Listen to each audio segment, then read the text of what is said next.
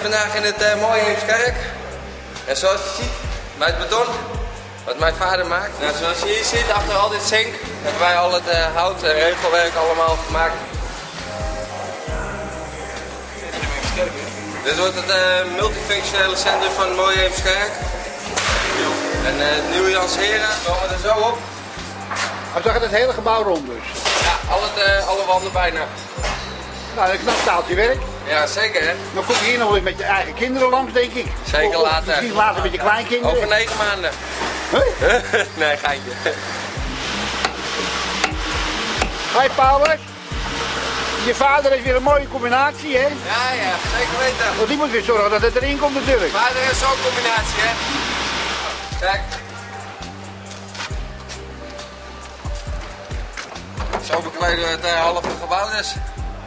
Nou, je maakt het Heemskerk echt heel erg mooi, Paul. Het, en het was zo mooi, het was zo mooi, maar nu wordt het nog mooier. Ja, ja, ja. Hey, uh, hartstikke top. En we zien elkaar op de diploma-uitreiking. Zeker. Met 20 man, hè? 20 man, het wordt een groot feest dus. Het wordt een groot feest.